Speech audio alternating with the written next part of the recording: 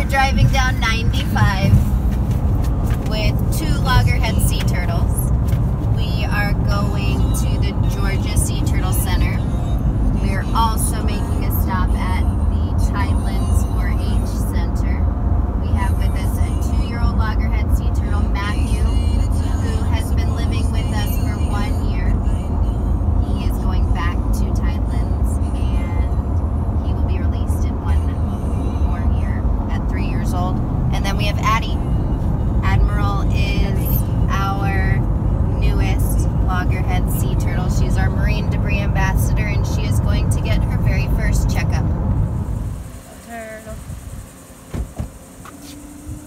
I'm gonna. Is Oh, this? I want to work on your show.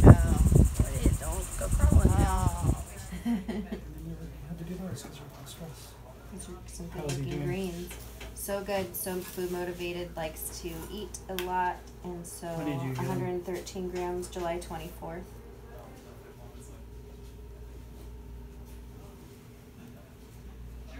Swims active, dives little, doesn't really like my sea turtle gel, so prefers my puree, What is that? the shrimp, squid, and fish mixture. So tell me, so he's not eating the gel? Oh yeah, uh, he is eating the gel. He just doesn't like it as much as the other, So I would say Can you grab one of the other hatchlings that we've been raising? I just Yeah. want to compare the Sure. shell.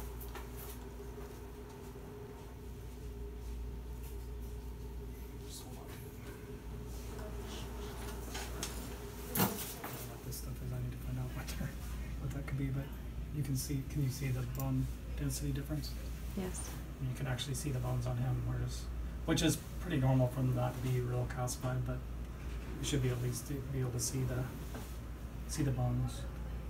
So look at that. You can see the long bones. You can see all the bones of the plastron vertebra. And go back to the other one.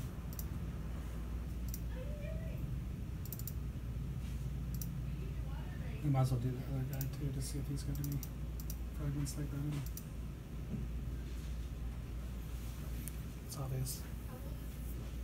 His shell's a little soft, and so he needs just some dietary modifications, get him outside more, and kind of leave it at that for now. Mm-hmm. I think we can turn it around at this point, so I wouldn't like make a. I mean, Issue. yeah, I think it, just make the positive connection that to Of course. put little pieces of stuff in there. Yeah, it's so perfect, uh, precisely weighed out in the gel recipe. Like I understand that. You could put a cuttlebone in there for him. Okay. and that would give him enrichment and just make sure he doesn't Never done eat it too crazily. No but- kidding. Got it.